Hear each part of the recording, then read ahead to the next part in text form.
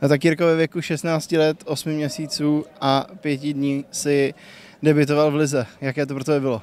Tak úplně neskutečný už od začátku, když jsem viděl náš kotel a když jsem se přivez se zdravil rodičema, tak to bylo neuvěřitelný zážitek a, a splnění takového mého snu.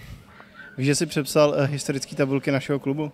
Jo, viděl jsem to, jak jsem, se, jak jsem přišel do šatny, tak jsem se podíval na mobil a tam jsem to viděl, no, takže, takže jsem rád. Jako. Jaký byly tvé první pocity, když jsi vyběhl na, na hřiště? Uh, ukázat se, hrát to, co umím, nebát se hrát, a, protože není důvod, prostě jsem si to nějakým způsobem i vydřel a chtěl jsem si to hlavně užít, takže tak. Stihl si pozdravit rodiče? Stihnul jsem se, i známí tady byli, takže, takže jsme pokecali a moc mi gratulovali, takže je to moje velká podpora, že jsem moc rád. Pozval si teda celou rodinu? Uh, no, víceméně.